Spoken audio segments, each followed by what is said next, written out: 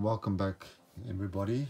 And we're gonna have a look at discovering dinosaurs flying monsters from michael benton all the way from 2006 Hmm. discovering dinosaurs that might that, that may be the actual series of the books i'm guessing because obviously um, dinosaurs are not flying obviously they're in their own um, genre as you know, flying monsters or pterosaurs or whatever. So first of all, no copyright intended. All artwork belongs to their owners. And I'll be reviewing the book. We'll have a look at the book. This is more of a children's book. I've never owned this. I did pick it up at a thrift store. So let's have a have a look at this. All right, got a little pterosaur there.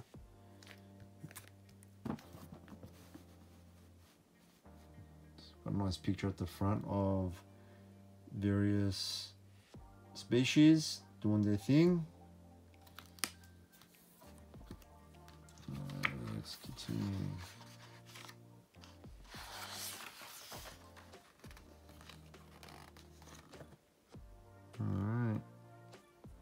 So 2006, this is the index. Uh, yeah, definitely a children's book. A really nice artwork. It's a bit hard to see, but some really nice pictures there. I'll try and bring them closer. So we've got first birds.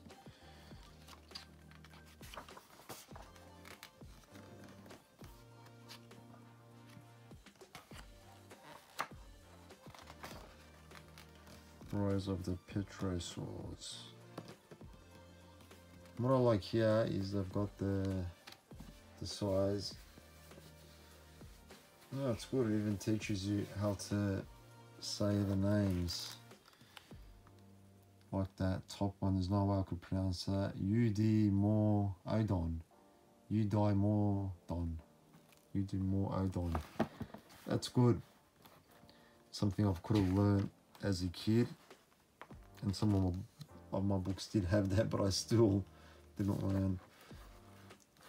So even though this is a children's book I do like the artwork and that kind of reminds me of the 90s artwork. And look at this little cutie. Look how small it is. How cute.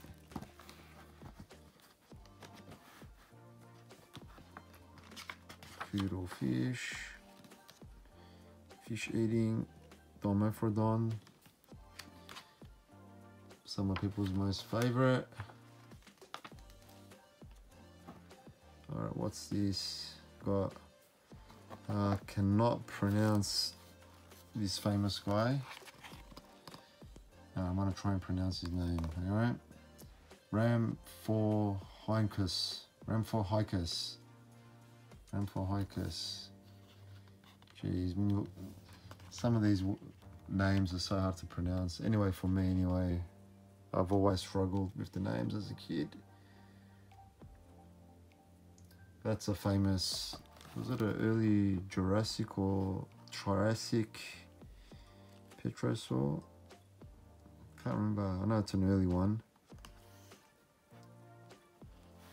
It was pretty popular like in the 80s but it doesn't seem to get enough love these days.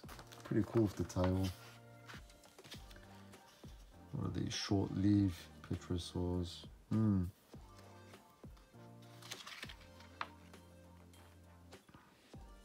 Really we got some better skull and stuff. Crest heads.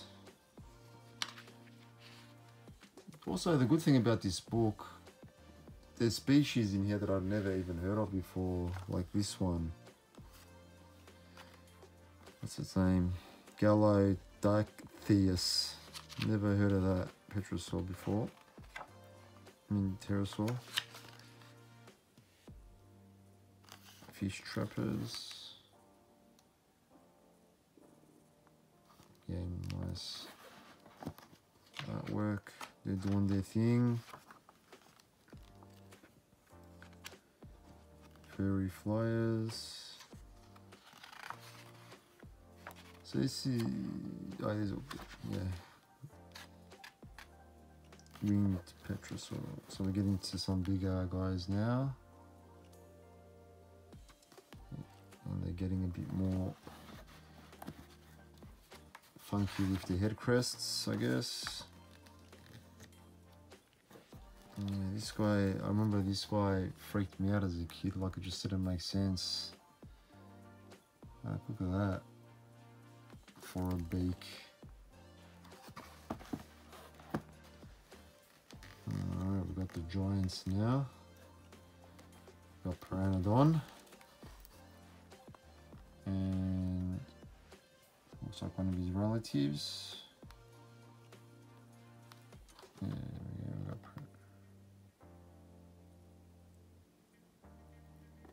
of a different head crest. So great artwork because they're actually showing the, the animals doing things, you know, they're in action. Which is really good. Quetzalcoatlus.